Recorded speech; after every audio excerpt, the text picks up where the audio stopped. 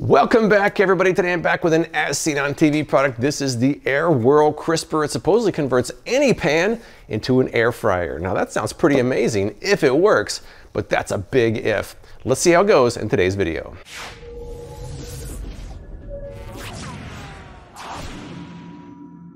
Before I get started, let's flash back to the unboxing and the overview and see how that went. Let's crack this open. By the way, I don't have just one box, I have two because I got this upgrade. So we'll see what's in there. The bottom of this grill rack may contain sharp edges. Always good for your pans. Not sure what that is yet, but we'll figure that out. All right, it's much bigger than I thought it was gonna be, so that's uh, interesting. Just to go over the cost here, now the Air Whirl Crisper itself, I paid $59.99 for it. The double grill rack, I paid an extra 10 bucks for. Add some tax, some processing and handling, $82.83. Hopefully it's worth it. All right, I just washed it off, put it together. Here's a fully assembled unit. Now this basket, they say, can only fit in 10, 11, or 12 inch pans. So my emerald pan that's eight inches is out of the question but it does seem like it can adjust the size here. Here's the, the assembled unit. There's not much to it. This temperature gauge can pull off if you want to put it in the dishwasher. This fan blade just pulls off. And here we go. This is, and then also the there's three batteries that go in here as well. Twist the top, and there they are. Put this here, little turn, fan blade back on and we're ready to go. All right, so for day number one, I wanted to try it over at my other place and see how it worked there on the electric stove. I did a couple of tests and it didn't really go so well. Check it out. All right, can supposedly work with 10 or 12 inch pans. Let's see what we get. On this 10 inch Granitestone Pro, seems to fit pretty well. On the hex HexClad, which is 12 inches, it fits pretty well there too. They say to line the pan with aluminum foil then we place the basket inside. I think we're almost ready to go. For the first round, we're gonna do some french fries. And I'm gonna compare it to this actual air fryer from Dash. We'll see how much of a air fryer really is as compared to an actual air fryer. They say to coat the rack with cooking oil. Let's do that. They also say to only use medium heat, and then if you're gonna go more than 12 to 15 minutes, to go down to low. For the air fryer, I'm just gonna go with the instructions on, on this bag. I've got my pan with exactly 36 french fries. Got this air fryer with exactly 36 french fries. Try to keep everything even here. The air fryer says it's gonna take 10 minutes. You have to do it five, flip it and do another five. This one says 12 to 15 minutes for most foods and to put it on medium heat. So that's pretty much it. I'm gonna get started and see how it goes. All right, so the instructions say to cover up your pan. Make sure that it's not touching the fries and it's not. Put the oven on medium heat and press the button. And we're off. For the air fryer, we're going five minutes. Set to 400, after five minutes, we flip them. All right, so at this point, now we wait. The fan is turning in there, so that's a good sign. We'll have to keep an eye on this temperature gauge. By the way, they say not to let it get into the red. They say do not let it get in the red, so I have to keep an eye on that too. All right, the first five minutes are up. Now we have to take this out of here and kind of flip it. Now another five minutes. Doesn't seem like the uh, Air Whirl Crisper is doing quite as, as well, but maybe it'll catch up at the end. It's like the heat's distributed mostly towards the bottom, which you would want. That's it, mostly in the basket. The Air Whirl Crisper, I'm not seeing a lot of heat in the center. It's quite a bit around the edges and a lot more on the bottom. I think between the, uh, the aluminum foil and the basket, it's kind of taken a little longer for it to heat up. And they say not to preheat it. All right, after 10 minutes in here, let's see what the air fryer shows. Definitely some crispy ones. I think it could go a little bit longer. Let's check the uh, Air Whirl Crisper now. Air Whirl Crisper, they're not even close to being done. These are still ice cold. Ice cold. They are still ice cold. Ice cold. I'll put it back in there no longer, see what we go. I, I, it's not even halfway done. This has been 13 minutes, so this is probably gonna be done. Let's see. They, they feel nice and crispy. That's good. Let's check the Air Whirl Crisper now. Still cold. It is still cold after 13 minutes. And the fan seems like it's slowing down. These are brand new batteries in there. I don't know. I'm just gonna leave this on here until it's done, but it's at 13 minutes. The air fryer is completely done and the air whirl is still not. They're still cold. There were some comments in Bed Bath & Beyond saying it took forever. Well, maybe that's gonna be my, my experience too. I'm gonna see how long this takes. But they said to put it down a low after 12 to 15 minutes. I guess I need to do that. I'm gonna put it down lower because they say after 12 minutes go on low. Oh, that's gonna make it take longer. While I'm waiting for the Air Whirl Crisper to finish, let's see how the air fryer did. They're good, they're done. I mean, that's a nice French fry. It took 12, 13 minutes while the Air Whirl is still cold. Not an impressive first demonstration with the Air Whirl Crisper. Maybe it'll come from behind and catch up, or maybe not. I'm gonna eat these while I wait. I'm at the 30 minute mark. Let's, let's check it out and see if we're making any progress here. I'm gonna kind of uh, move these around a little bit, maybe try to shuffle these around a little bit and see if that helps. All right, well, I'm not gonna check back until these are done, however long that takes. All right, we're, I, that's it. I'm throwing in the towel. It's at the one hour mark. I can't take it anymore. I've got to see where it's at at the one hour mark. I'm just got, I got to move on to something else. I feel like I'm to run out of, my batteries are to run out before I even finish one set of fries. Let's see what we got here. Well, I mean, we get some crispiness. We, we got, this is, I mean, it's still a little bit soft, but I mean, they look almost done. Let's pour these out. I mean, they're almost done. It only took an hour.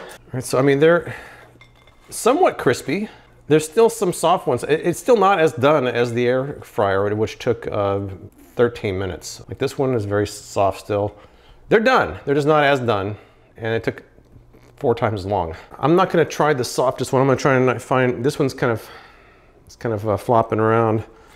I'll try one of the more done fries. Here, this one looks pretty good. That one looks probably the best one of the bunch. It's still not that crispy though. It's all right. It's pretty good. Not great, pretty good. This one, not so good. I think part of the problem was turning it down to low after 12 to 15 minutes as the instructions stated. Next time I'm not doing that because obviously that didn't work. So I'm gonna have to improvise from now on. So let me try the next thing. I'm gonna keep it on medium instead of going on low and see if it's any faster. All right, I've got my Hexclad this time, so it's a larger pan. I sprayed the rack with some cooking spray. I have one layer, not a lot in here, so let's, let's see what happens. I got some chicken nuggets and some tater tots. Putting the, uh, the burner on medium, no preheating like they say. Put it on there, hit the button. I'm gonna keep an eye on the clock and see how long this takes. I'll check back in 12 to 15 minutes. Hopefully they're done. We shall see. All right, it's been exactly 12 minutes. They say most foods are done in 12 to 15 minutes, so let's see what we've got here. Removing the lid. All right, let me see. They feel room temperature. They just feel room temperature. They are not done at all. It's been 12 minutes. This time I'm not turning it down to low like I did last time. I'm gonna leave it on medium. I'm gonna go another, I guess another 12 minutes and see what happens. All right, we're at the 23 minute mark. Let's check it out here. The temperature inside says it's a little over 200 degrees. They actually, they actually feel done at the 23 minute mark. I think, I think they might actually be done. All right, maybe redemption from that first disastrous round. Let's try, uh, put them on a plate and try them out. These tater tots, I would say, are not 100% done. I'm seeing mostly temperatures in the 130s, 140s, some 150s, which isn't really exactly the best temperature. This is warm, but I, I, it's not really that very crispy. This is not crispy at all. I, I mean, I guess it's kind of done. All right, the good news and bad news is the good news is it seemed like it was faster than the first round, but the bad news is still very slow. Let me try a couple of these out. Here's my kind of warm tater tot not crispy. Here's my kind of done chicken nugget bite. Well, they tasted done, they just weren't very crispy. I don't know how long I've had to leave them there to get crispy. I also didn't turn the stove down to low after 12 or 15 minutes like the instructions say, so I don't know. I gotta keep trying. I'm starting to see a pattern here and I don't like the pattern I'm seeing, but we got more to try out, so let's do that. Quick update, I put these, these back in the Dash air fryer for about four minutes and they're perfectly crispy and totally done oh well. All right, so my first date really didn't go very well, so I decided to just call it at that point and come home and kind of rethink this thing and see if I can come up with ways to make this actually work. So what I did was I went back and watched the commercial went to the website and something jumped out at me after using it that hadn't jumped out at me before. First thing I noticed is this thermometer looks different than the one they show in the commercial. That's not really a big deal because prototypes sometimes change before they actually go into production. But I also noticed that they use this rack in most of the advertising, and that rack I did not get. This is the rack that you receive. It looks nothing like the one they show in the advertising. The one in the advertising, they show bacon, they show wings on there. In fact, in the instructions, they say here's some great foods for the Air Whirl Crisper. Doesn't mention bacon, doesn't mention wings, doesn't mention really any proteins at all, mainly just prepackaged and frozen foods. The ad also states that it can be used on virtually any size pot or pan, but the instructions say something different. The instructions state that the Air Whirl air frying lid requires the use of a 10 inch, 11 inch, or 12 inch frying pan with a minimal depth of 1.75 inches. That is not virtually any size. So I had planned to make bacon in this, but I'm not going to because I don't think bacon is really going to go very well in here. This little handle in the middle here, I just don't think bacon's going to really work very well in there. Not to mention the rack they showed in the advertising was lifted off the surface, which seemed to be more of an air fryer than this, which is flush against the bottom of the pan.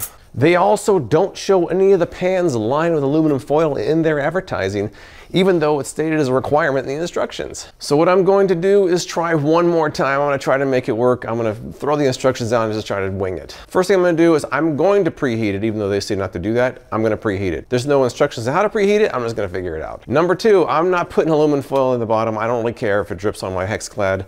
HexClad doesn't really scratch and it's three years old. I'm not using aluminum foil.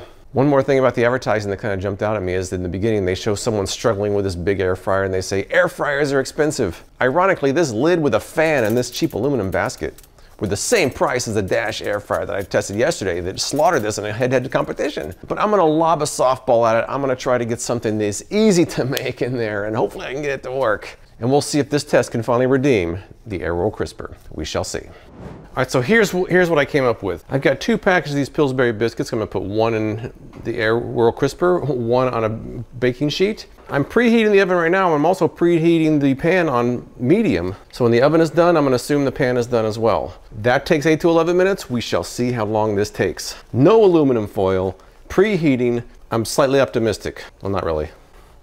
All right, it's done preheating. Let's load these up. Got plenty, plenty of room in here.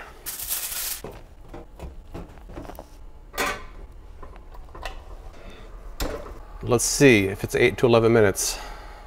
We shall see. It's the 8 minute mark. I'm going to try one of each. At first glance, here's the one from the oven. That looks actually looks done. This one, it looks done on the bottom, but not on the top. It's doughy on the top and brown on the bottom. Not even, these in the oven are done. After eight minutes, here, here are those out of the oven. They look, they look nice. Let's check the Air Whirl Crisper now. This is 10 minutes. And look, the, the bottoms are getting brown, but the tops are not. It is not cooking them evenly. See, look at this. That's not, come on now, that's not good. This one looks pretty good, although there is still kind of a doughy section at the top. I just don't, I'm just not a fan. I tried. I really did try. So in the end, maybe surprisingly, I'm not a big fan of the Air Whirl Crisper. I know, it's shocking, right? It doesn't seem like it cooks faster as they advertise. The, the rack that they show in the advertising is not even the one you get. It seems like it was probably a good idea in the prototype stage, but maybe some changes happened during production where it's not as good as it was originally planned. The advertising seems to show the one that worked better. It looks like they haven't updated their advertising. The website seems to have the prototype and the production version kind of mixed together. Everything either seemed to take longer or not be even. I just, I don't, I don't, I don't get it. I would like to see have seen how that worked with that rack because this doesn't seem very effective. The biscuits in my last test was a clear win by the oven, which only took eight minutes. After eight to 10 minutes, you know, this is, this is what I got. One side done, the other side doughy. So it's not even even. I have a feeling that the prototype they tested out probably worked better than the one that, they end up sending to customers. Sometimes things change in production and not always for the better, and I think this might be one of those cases. That's purely speculation though.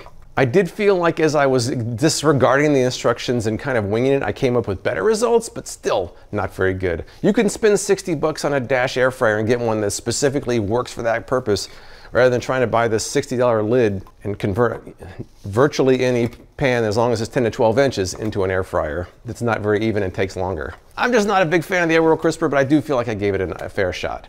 But if you've used the Air Whirl Crisper, tell me what you think in the comments below. I appreciate you watching, and I'll see you next time.